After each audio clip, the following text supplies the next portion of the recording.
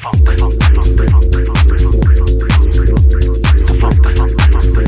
morning, Wildcats. My name is Noah Gunnerson. My name is Ethan Atkinson. This week's scholarship highlight is the Pearson Butler Scholarship. Applicants will need to write an essay about how you overcome a trial in your life. See the senior bulletin board or Miss Regan for details.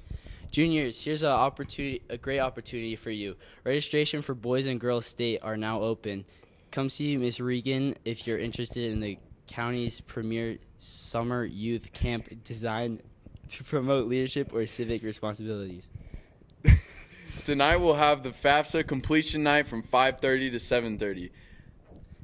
we wish we want to wish girls wrestling good luck. They will be at region competition at Emery. Also on Tuesdays we have girls basketball versus Ogden senior night 7 p.m.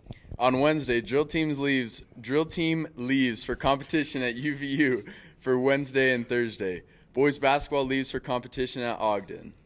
On Thursday, Region Swim meet at Wasatch Aquatic Center. There will be a girls basketball game at home versus Grantsville at 7 p.m.